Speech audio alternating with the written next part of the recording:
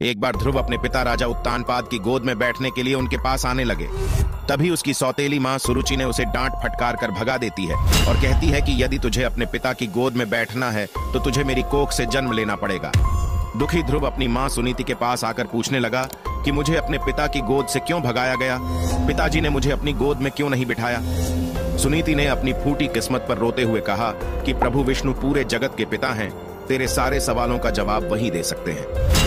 ध्रुव भगवान विष्णु को ढूँढने लगे। तब नारद जी ने उसे ओम नमो भगवते वासुदेवाय मंत्र का जाप करने को कहा, जिससे ध्रुव अपने प्रश्नों का जवाब पाने के लिए वन जाकर मंत्र का जाप करने लगे। तब ध्रुव की करुण पुकार से भगवान विष्णु प्रकट हुए और उसे अपनी गोद में बिठाकर उसे ब्रह्म ज्ञान दिया, तथा उत्तर दिशा में भक्ति और तपस्या के प्रतीक के रूप में एक तेज चमकीले तारे के रूप में बैकुंठ में स्थान दिया। दोस्तों आज भी ध्रुव तारा उत्तर दिशा में भक्त ध्रुव की भक्ति और तपस्या के प्रतीक के रूप में चमक रहा है।